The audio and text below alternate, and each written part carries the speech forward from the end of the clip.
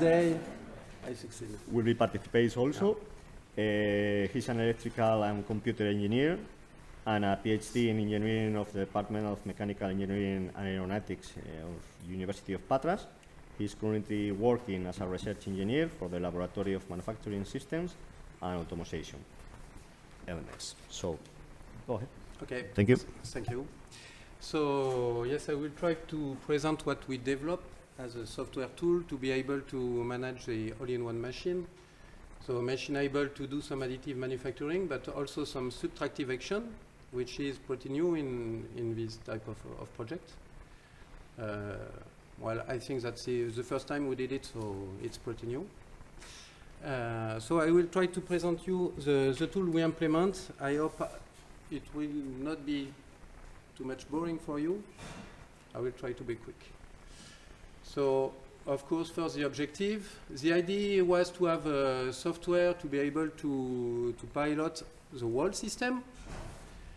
By whole system, I mean additive and subtractive uh, subsystem, so some autonomous system able to do the additive without the cable robot, uh, able to do some subtractive action also without cable robot. Uh, the cable robot, while the whole system to assemble everything and to be able at the end to press on the button and to, to obtain a part. Uh, so we are considering, of course, uh, the end user point of view, but in this development we had also to deal with uh, low level integration and these type of things to be able to get a working system. And my Greek friend Alexios will talk about the optimization of the path planning because it's also something uh, not so easy to do when you want to to respect the, the, the, the constraints of uh, resistance, material resistance, of the structure, etc., etc. So here is the system we have built. So there is a cable robot. As already explained, the cable robot is here to, to follow a path. Uh, and we'll embed the additive, uh, the additive system, so the extruder. And the other system is a subtractive uh, system, which is made of a KUKA robot. Could be another brand of robot, but it's a KUKA robot and some tool. And the software is supposed to be able to manage uh, the displacement of the cable robot, also to start and stop some process with the additive uh, subsystem and the same for subtractive uh, subsystem. And all these things from only one window where you just have to click.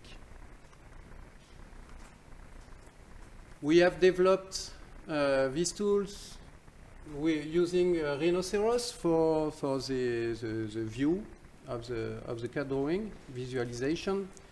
We also use another tool called Grasshopper, which uh, allows some parametric design.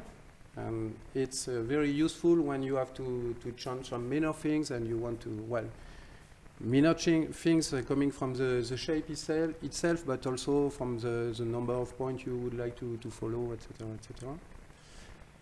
And we also use another uh, another software called HAL HAL Robotic, which is also a new uh, new development environment uh, that help us to take into account all the robot constraints, uh, including collision detection, but not only collision detection, also all the geometric and, and, and dynamic models of, uh, of robot to be able to, to pilot it.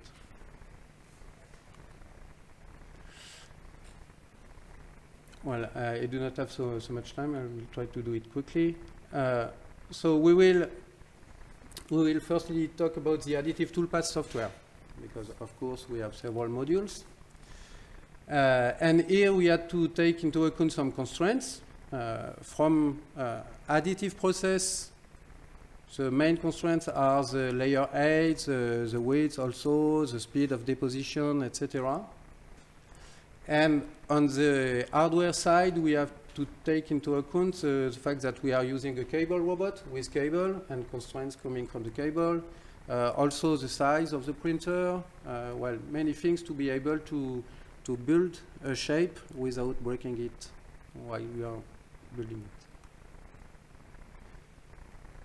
So uh, the, the, the, the, the input here where the printer head constraints already talked, and also the part geometry. So part geometry is coming from, from the BIM, from the BIM, and from the BIM we extract the CAD drawing in STL format or other, other format. And then we put all these constraints into uh, the famous LMS DLL developed by LMS. Uh, and from this uh, DLL, we so we we we give the input, we give the constraint, constraints as input, and we will get some list of waypoints we will have to follow later with the robot. I will let the floor to Alexios to explain you how the optimization was made and what is inside this DLL. Hello from my side. So we're going to see the methodology. Sorry. We're going to see the methodology behind the, this algorithm. The ultimate goal is, of course, to optimize the path and be able to simulate. And we have to take into account the geometry itself, constraints that there may be, the machine restrictions, and material restrictions. And then we have to calculate performance indicators such as building time and energy consumption.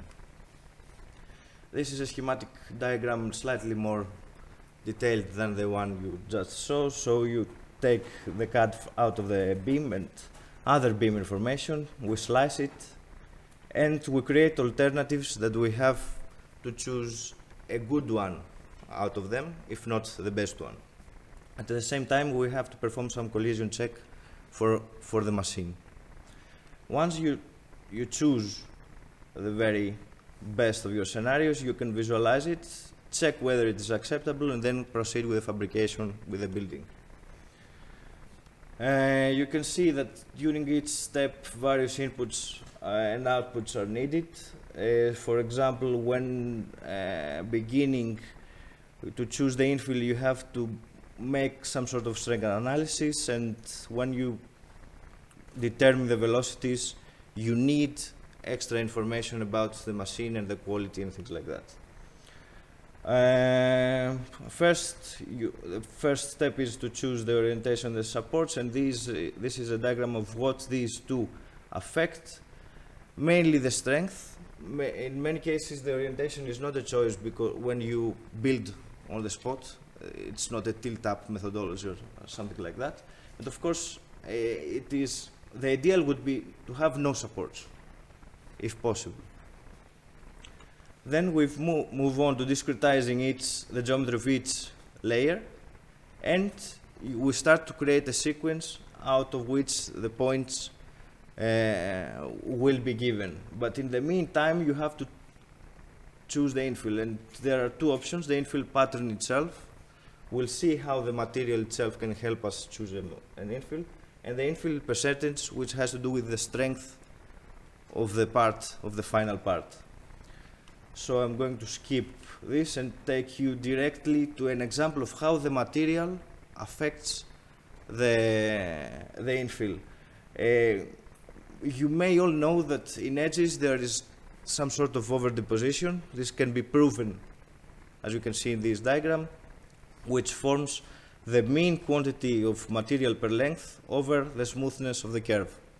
So we desire not to have edges, we desire to have smooth geometries, and this is an example, a poor depiction of uh, smooth filling that can be used for plain walls. Not this is not a complex geometry as Javier showed, but we had to begin with something. But this is a depiction of a smooth geometry. At a later stage, you, you have to take into account the dimensions of the nozzle, for example, because everything is finite there, nothing is ideal.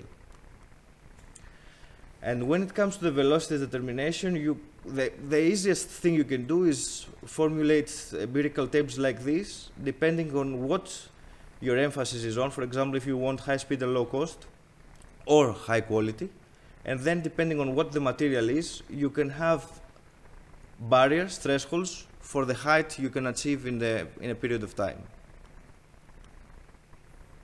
Then when it comes to building time estimation and energy consumption, you can have profiles on motion, which is pretty straightforward. And the final thing to do is after you have all your alternatives of your path and you have uh, you have estimated the performance indicators for each one of them, you can estimate a utility function that will help you choose the best one. So, to sum up, this is each one of the steps we follow, and in between you can see what is needed to pass as information from one stage to another, and also what is needed from exterior information, for example, from BIM or from operators. And this is an example of the sequence, uh, the more sim the, the simplest of the geometries you can have, and this is the simplest uh, result uh, you can have. And to give you some partial conclusions on the algorithm, uh, the most important uh, out outcome conclusion is that you have to keep the human in the loop. There are many difficulties in choosing a, a good scenario. For example, the formulation itself, the weighting of the factors to, to retrieve a utility function. Uh, there are theoretical obstacles, especially when it comes to idle times minimization.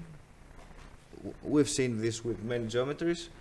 Uh, the seamless information, this, uh, communication information of information between various steps and the information uh, coming from BIM seems to be very important to boosting the procedure.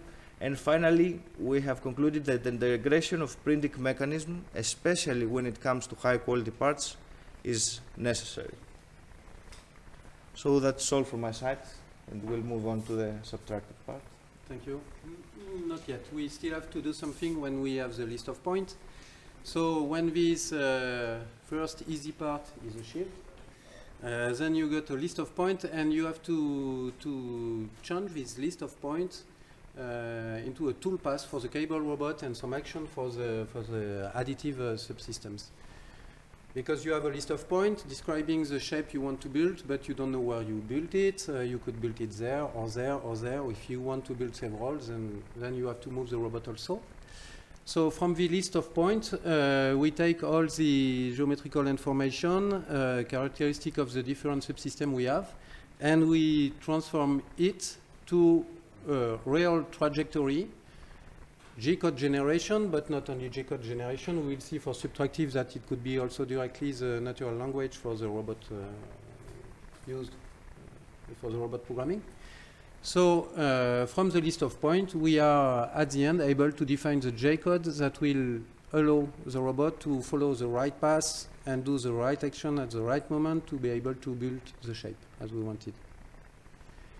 So that's all for the code generation at the end, from different part, like the one we have here, you can see that we have defined some trajectory that the robot will follow.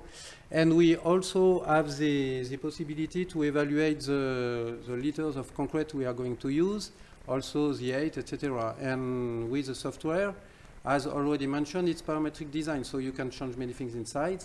And uh, if you do not have, uh, for example, for the last one, 61 liter of concrete, you can also uh, try to reduce, to change some parameters to be able to build a part with uh, concrete you have, uh, etc. And now, subtractive toolpath. So here we have uh, also some constraints. What type of tool we are going to use to do these subtractive actions. If we are doing some milling, some polishing, drilling, these type of things. Uh, and also, like for the additive uh, application, we have to take into account the fact that we are using a cable robot, and on a cable robot you have some cables. It could be a problem. Uh, and also we have an ma arm manipulator, and arm manipulator is something not so easy to manage when you want to do some, some, some manufacturing or subtractive uh, actions. So we have to take also into account this type of constraints. Uh, here you have some, some screenshot of what could be the tool for polishing, milling, and uh, also engraving or drilling. Uh, so you can imagine that depending on the tool you are using, you have different position to take with. And that's part of the constraint I was talking about. Also, we put it in our magical software, uh, where we have defined some strategy uh, strategies to be able to manage uh, relative position of cable robot, arm manipulators, uh, shape we are working on, etc. Uh, we have implemented also some strategy to create some, some, some patches because uh, one of the constraints of using um, uh, this cable robot or another system also is a, is a weight constraint, for example. Uh, and when you have some weight constraints, it means also that you have to use some small system. So if you have small arms, then you have to move to do some different actions. So we have also implemented a strategy to, to cut the shapes, to, cut the work we have to do, etc. And we have uh, integrated several uh, several uh, functionalities engraving, so you can write something. Uh, meaning, if you want to get flat surface, if you want to, to, to have some sharp, sharp corners also on, on, on the final parts, etc. Uh, cutting, uh, some drilling, etc. When you have run this part of the software, then you can get also the trajectories that will be followed. You can see already the results that you will get uh, from, from the constant you, you put. And then you can simulate it. And simulation is also a very important point because at, at the simulation time you will be able to detect some collision. Uh, you will be able also to detect some limitation you could have with the robotic arm etc., uh, etc. And once you have uh, delete all the problem of uh, collision, of the problem of, uh, of robot uh, kinematic limitation, etc., then you can produce uh, the, the code and you can get something to, to, to run with your robots in order to, to get parts. And at the end, we are able to polish, we are able to, to mill, we are able to engrave. Here, uh, well, you will see on the movie that uh, we can write something like HINDCON, for example, but uh, we are still continuing to do some trials, and now we are will also probably show very soon. Yeah, one minute I will, and it's finished. Uh, and we, we, if, if you follow us on YouTube, you will probably also some uh, engravement of pictures and these type of things. So it means that now we are able to do nice things on concrete. Well, that's all. I do not have to, to conclude because we are still working on it. But uh, if you have some question, maybe we can discuss later. Now I have to finish. Thank you.